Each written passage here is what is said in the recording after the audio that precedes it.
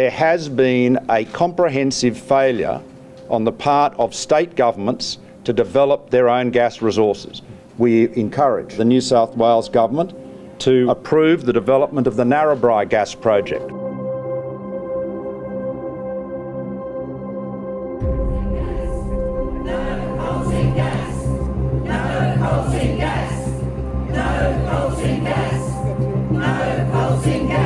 The sooner that is brought online, the better. That is critical to the energy security of Australia, the energy security of this state, New South Wales.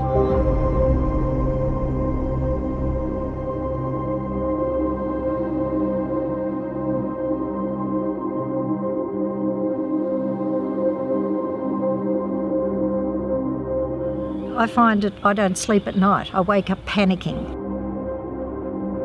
The terrifying thing is, don't they care? Don't they have families and children and grandchildren themselves?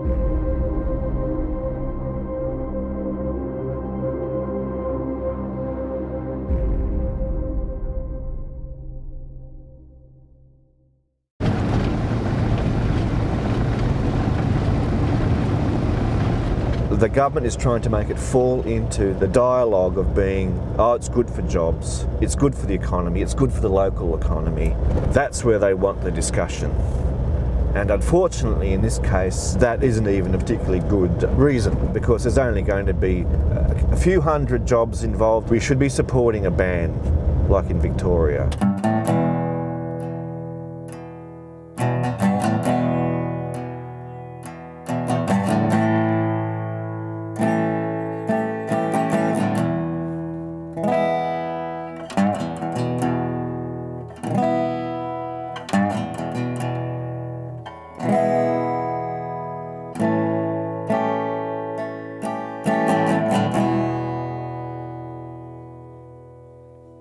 As a consultant, I'd spent most of my time working for developers, um, big companies, mining companies. And after years of doing this, I just couldn't bring myself to be in that situation anymore where information was being suppressed.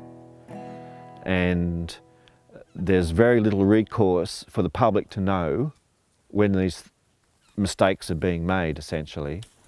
Um, and so I couldn't, out of principle, continue to work for um, that sector anymore.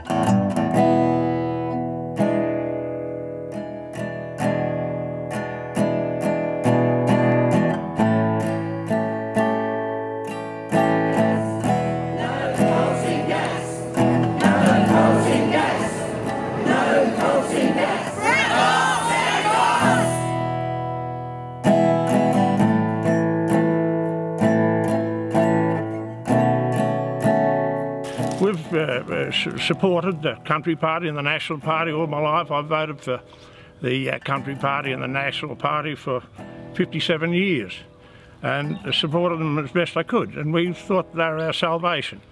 They're not. They've betrayed us. And uh, until we can get independence, uh, politicians and people to come out and genuinely support us in the bush, we haven't got a great future. We're all doomed really in the bush. Things aren't too good out here.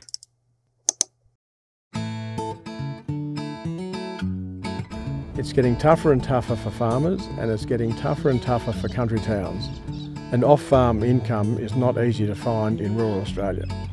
So the opportunity to reinvest into your farm with the income derived from natural gas is seen as a real positive by our landholders.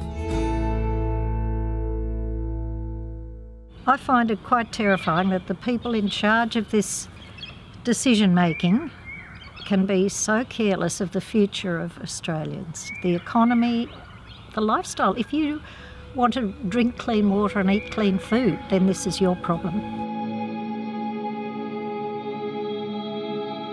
This is like an oasis. It's got um, freshwater mussels, freshwater sponges, high diversity of invertebrates, probably fish.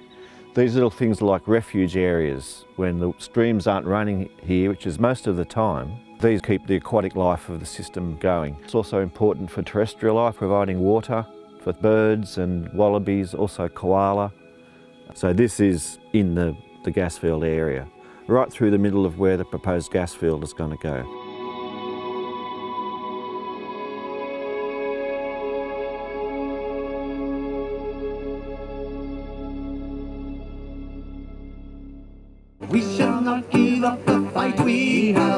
Started. We have only started.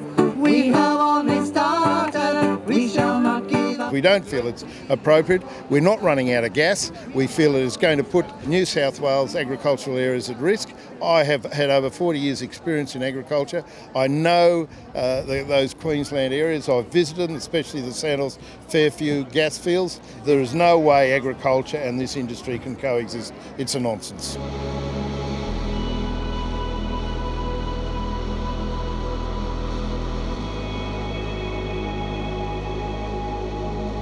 To me, it's all about the water.